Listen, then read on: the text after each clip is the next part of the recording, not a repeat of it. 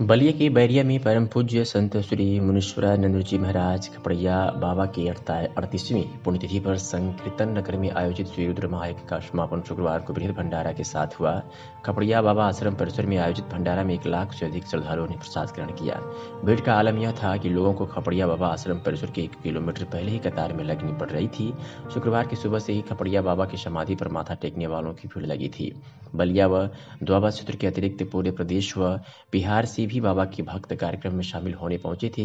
इस मौके पर खपड़िया बाबा के कृपा पात्र परम पूज्य संत स्वामी हरिहरानंद जी महाराज के दर्शन के लिए श्रद्धालुओं का तांता लगा था। स्वामी हरिहरानंद जी महाराज ने भक्तों के बीच कहा कि कलयुग में भगवान भगवत नाम संकीर्तन से सब कुछ प्राप्त किया जा सकता है। सुख, शांति, पद व प्रतिष्ठा, जो कुछ चाहते हो तो नाम संकीर्तन करो। गृहस्थ अपनी गृहस्थी कार्य करते हुए भगवत नाम संकीर्तन करे। ठीक है ना?